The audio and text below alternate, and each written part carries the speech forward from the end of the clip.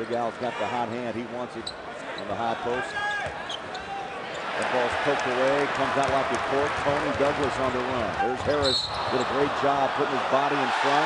They're going to count that bucket and give a foul to Harris. Well, turnovers are really hurting the Jazz right here in the first quarter. And when New York gets the turnover, they're out and running. And you see Douglas, one of the quickest guards in the league.